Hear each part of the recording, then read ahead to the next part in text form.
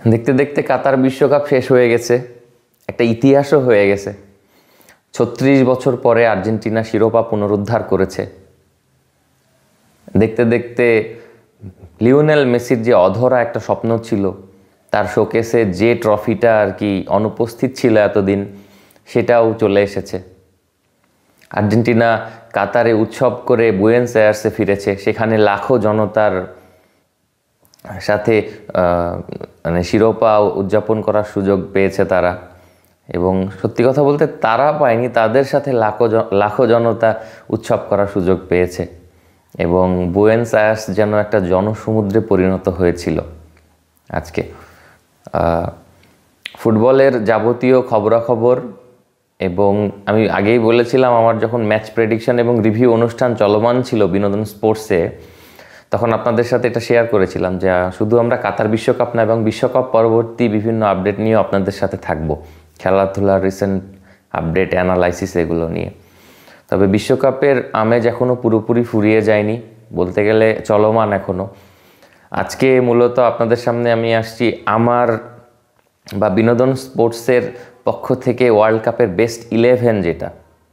সেইটা আমরা একটা নির্ধারণ করেছি। সেইটা নিয়ে আপনাদের সাথে আলোচনা করব যে ওয়ার্ল্ড কাপের বেস্ট ইলেভেন কোনটা হতে পারে। তো আমার যেটা ইলেভেন সেখানে আমি চার, দুই, তিন, এক ফরমেশনে খেলাবো।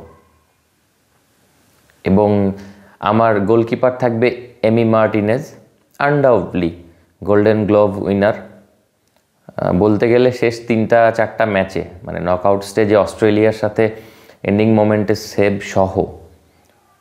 Throughout the tournament one of the best performance দিছে সে। আর রাইট ব্যাক অপশানে আসি।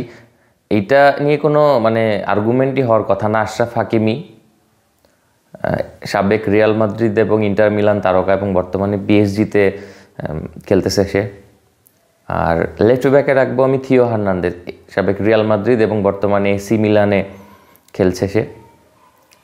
আর মিডফিল্ডে রাখব আমি নিকোলাস ওটামেন্ডি, তাকে আমি মানে রাখতে বাধ্য একরকম। এবং এই যে আরেকটা জায়গা সিবি, সেন্টার ব্যাকের, সেই জায়গা নিয়ে অনেক অনেক আলোচনা করেছি নিজের সাথে, অনেক অনেক হিসাব নিকাশ করেছি। কখনো মনে হচ্ছে ক্রোয়েশিয়ার ডিফেন্ডারটাকে নিই কখনো মনে হয়েছে আপামেকানোকে নিই আবার কখনো মনে হয়েছে যে আরেকজনকে নিই তো অবশেষে আমার কাছে যেটা মনে হয়েছে, যে সেটা হচ্ছে যে ওই জায়গাতে মরক্কোর যে ক্যাপ্টেন রোমান সাইস, তাকে নেওয়াটা উত্তম। যদিও সে সেমিফাইনাল ম্যাচটা খেলতে পারে নাই, বাট মরক্কোর যে আনবিটেন থাকার রেকর্ডটা, সেটা কিন্তু এই সেমিফাইনালে এসে ভেঙেছে। এবং সেই ম্যাচে তার অনুপস্থিতির কারণেই মূলত ওই ম্যাচটাতে ডিফেন্সটা ঠিকমতো গুছিয়ে উঠতে পারেনি এবং সে ইনজিউর্ডও ছিল।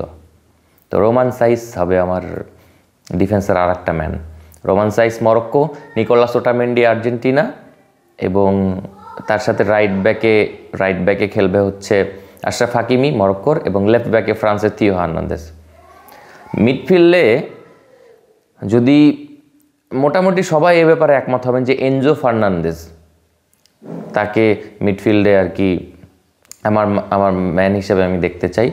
এবং অনেকেই লুকা মডরিচ বা অন্য আমারাবাতের কথা বলেছে বাট আমার কাছে ম্যাক অ্যালিস্টারকে মনে হয়েছে যে পারফেক্ট ওই জায়গাতে। যদি ফ্রান্স ওয়ার্ল্ড কাপ জিততো, তাহলে হয়তো র্যাবিওট বা চুয়ামিনিকে আমি নিতাম। বাট যেহেতু ফাইনালে একটা অসাধারণ পারফরমেন্স দিচ্ছে ম্যাক অ্যালিস্টার তো আমার কাছে ম্যাক অ্যালিস্টার এবং এনজো ফার্নান্দেসকে এই মিডিলে আমি রাখব হোল্ডিং মিডফিল্ডার হিসাবে। এবং ফ্রন্টে লেফট ব্যাকে কে থাকবে এটা নিয়ে তো আলোচনা করার কিছু নাই। অবভিয়াসলি কিলিয়ান এমবাপ্পে তার পারফরমেন্স নিয়ে যা বলবেন সেটাই কম হয়ে যাবে। লেফট উইংয়ে থাকবে লিওনেল মেসি। এটা নিয়েও আপনি যেটাই বলবেন, কম হয়ে যাবে। এবার স্ট্রাইকার পজিশন নিয়ে কথা বলার আগে এই যে মিডিলে যে ফলস নাইন বলেন বা অ্যাটাকিং মিডফিল্ড বা ক্যাম যে জায়গাতে খেলে আর কি, ওইখানে আমি, আমার কাছে ব্যক্তিগতভাবে মনে হয়েছে যে ওই জায়গাতে এবার অ্যান্থনিও গ্রিজম্যান অনেক ভালো খেলছে। গ্রিজম্যান অনেক ভালো খেলছে এবং নেইমার অনেক ভালো খেলছে। আমি ওই জায়গাতে বেসিক্যালি নেইমারকে রাখব। আমার কাছে মনে হয়েছে ওই জায়গাতে নেইমার নেইমার বেটার ছিল। যতটা ম্যাচই খেলছে সে, ওই জায়গাতে তার থেকে বেটার পারফর্ম করতে আমি দেখি নাই।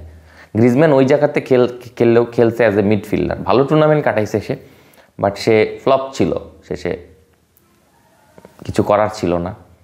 এবং বাট নেইমারের খেলাটা ছিল ওই জায়গাতে বেস্ট ওই পজিশনে নেইমারের থেকে বেটার কোনো প্লেয়ার আমি টুর্নামেন্টে দেখি নাই। আমার কাছে নেইমারকে রাখব ওখানে এবং স্ট্রাইকার হিসেবে জুলিয়ান আলভারেজ।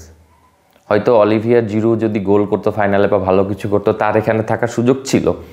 বাট, সরি, কারণ জুলিয়ান আলভারেজের যে পারফরমেন্স গোল ছাড়াও, এটা অসাধারণ ছিল। তো আমার একাদশ এইটা। আমি আবারও বলছি, আমার গোলকিপার থাকবে ইমালিনো মার্টিনেজ, আর্জেন্টিনার এমি মার্টিনেজ। রাইট ব্যাকে থাকবে মরক্কোর আশরাফ হাকিমি। আমার লেফট ব্যাকে থাকবে ফ্রান্সের থিও হার্নান্দেজ। সিবি দুইটা, একটা থাকবে মরক্কোর রোমান সাইস এবং আরেকটা আর্জেন্টিনার নিকোলা সোটামেন্ডি এবং আমার মিডফিল্ডে দুইজন থাকবে এনজো ফার্নান্দেজ এবং ম্যাক অ্যালিস্টার দুজনই আর্জেন্টাইন। এবং লেফট উইংয়ে থাকবে কিলিয়ান এমবাপ্পে ফ্রান্সের, রাইট উইংয়ে লিওনেল মেসি, মিডিলে থাকবে নেইমার এবং স্ট্রাইকার জুলিয়ান আলভারেজ। তো এই হচ্ছে এই বিশ্বকাপে আমার একাদশ। আপনারা বিনোদন স্পোর্টসের সাথে থাকবেন। বিনোদন প্রতিদিনের সাথে থাকবেন আমাদের ওয়েবসাইটের ঠিকানা W W W dot Binodon sports dot com এবং বিনোদন প্রতিদিন ডট টিভি এবং আমাদের ইউটিউব পেজে সাবস্ক্রাইব করবেন, বেশি বেশি ভিডিও দেখবেন লাইক কমেন্ট এবং শেয়ার করবেন এবং আমাদের পাশে থাকবেন। এছাড়াও আমাদের আরও কিছু ভিডিও আসবে যেটাতে এই বিশ্বকাপের যারা ব্যক্তিগত যে অর্জন সেই সব নিয়ে আমি সেটাতে কথা বলব। তো সেগুলো দেখতে আমাদের চ্যানেলে সাবস্ক্রাইব করেন এবং ভিডিও দেখে আমাদের পাশে থাকেন। ধন্যবাদ।